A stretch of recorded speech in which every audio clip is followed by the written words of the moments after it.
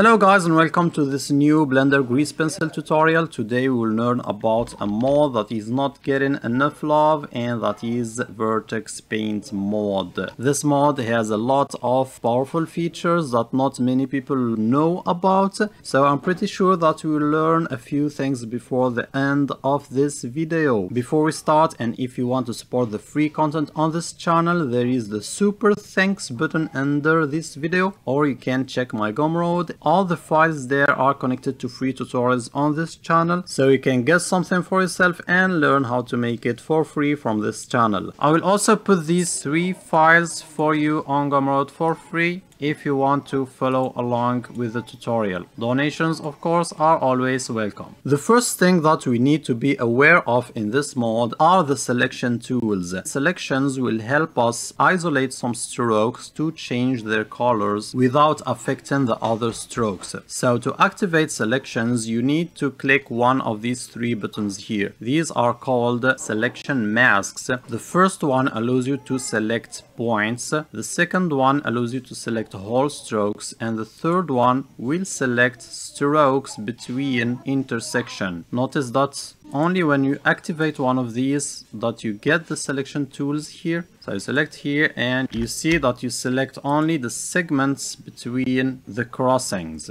We have more selection tools if we click and hold. You may be familiar with these from other modes and you can also cycle between them using the W shortcut. Another way to select strokes if you are using the draw tool for example and you don't want to switch to these tools is to use the alt key and then left click on a stroke and you can select the whole stroke and shift alt will select more than one stroke. Shift alt again and to deselect you do alt a. To select everything you do a. Alt a again you can also use c for circle select and select the strokes you want. Here we are selecting segments. To escape to get out of this mode. Select the points mode. Again c and now you can select points like this. And again to get out of this mode you do escape and if you open the select menu you get more tools and operators and you get all the shortcuts. Control i to invert selections lasso selection. You can change the modes here from set to extend to subtract. These are common in other modes too. And we have random select. We have grouped select shift g to select all the strokes in a layer or select all the strokes with the same material. Some of these need to have a selection already to work like here you need to select a stroke with a material to then be able to select all the strokes with the same material. This one color attribute is unique to this mode so let's switch to another file to see how it works. Let's deselect everything here. Select the first stroke let's use alt and then we can go to select color attribute and it should select strokes with the same colors as this one. They have all unique colors but we have here in the last operation menu the threshold value that we can increase and this way it will start selecting strokes with similar colors. And not only strokes but also points. So here started selecting some points here then threshold 2 3 4 and here it selected everything. And it goes up to 5 so this can be very useful to select strokes of the same color or similar colors and then you can change the color of your selection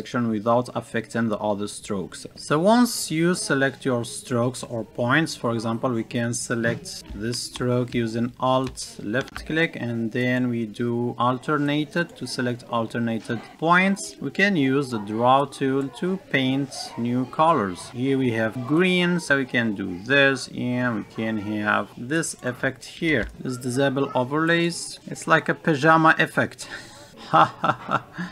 funny. Let's select the whole stroke again using L for linked. Let's paint half of it green or third of it. Let's change the color again to pink maybe I like pink. And then maybe a purplish color, I don't know. And now we can use these other tools. So we have the blur tool and the airbrush tool. They are similar. The blur one will smooth the colors like this. And the airbrush is supposed to paint the airbrush color from the colors under the brush's area of influence. It smooths color just like the blur tool. So I guess you will learn subtle differences by using them. And then we have the smear tool and this one will drag colors. If you click on a place and then drag, you will drag the colors like this. With a bigger brush, I guess it works better. So you can get this kind of effect by using the smear brush and then you can smooth it out with the blur brush and you see that the other strokes that are not selected are not affected by our coloring game here. Then we have the replace tool and it only works if you have a vertex color already painted. So if you go to draw mode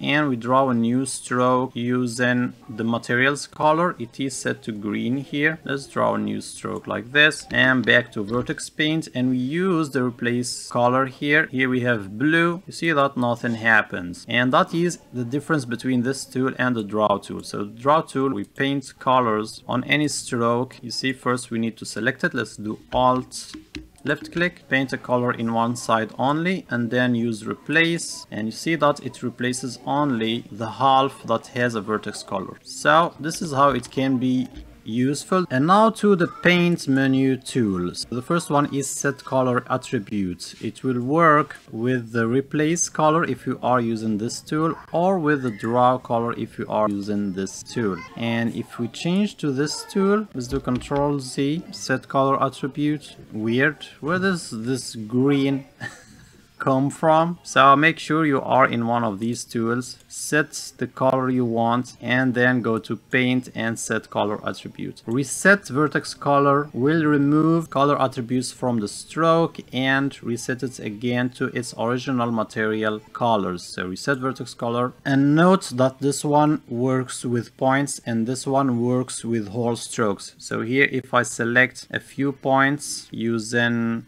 the box select tool and do set color attribute you see that it only changes the selected points. Control z. If i do reset vertex color it will reset the whole stroke and not only these points. Now we have these ones. Invert will invert the colors of the selected points and you can choose to affect strokes and fill or fill only or stroke only. Let's do control z and select the whole stroke with l. Then we have levels. Here we can play with the values and get darker or lighter colors and play with the gain too. Control Z again. We have hue saturation. Here we can change the hue up or down and you can play with the saturation too and then we have brightness and contrast and here you can play with the brightness and contrast and these operators will work on the selected points too so if we do hue saturation again you see that it works only on the points that we selected. Ctrl Z again. And now there is one more thing to learn about is multi-frame mode. So you go to a third file here in which we have this animation and I want to add some glow to it. So let's go to the middle frame, frame number 12. Let's enable multi-frame. Let's select all the frames here and then we can start painting and it will affect all our frames. So let's do it. Let's select our draw tool. Let's select a light yellow. I will choose this one one and make it lighter. And I think I'm gonna save it. So plus we will need it later. We will paint let's disable overlays. Don't know what this blue thing is. Now we can play our animation. And we have this. But I don't want it like this. So let's do control Z.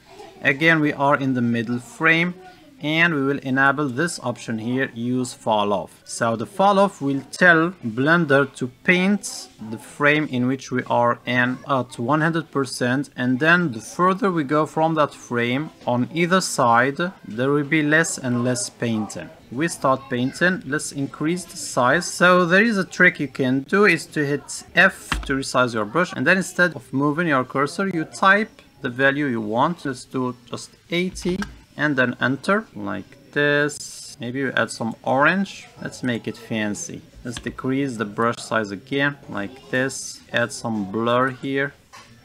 Here. Let's hit play.